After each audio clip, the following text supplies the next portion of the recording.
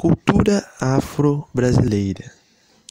Os africanos contribuíram para a cultura brasileira em uma enormidade de aspectos: dança, música, religião, culinária, idioma.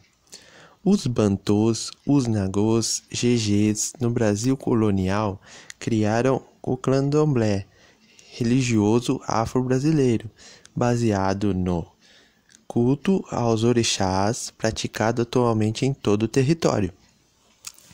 Denomina-se cultura afro-brasileira o conjunto de manifestações culturais no Brasil que sofreram algum grau de influência da cultura africana, desde o tempo do Brasil colônia até a atualidade.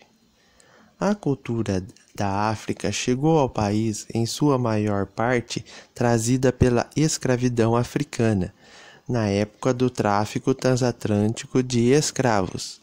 No Brasil, a cultura africana sofreu também a influência das culturas europeias e indígenas, de forma que características de origem africana na cultura brasileira encontram-se em geral, em geral mescladas a outras referências culturais.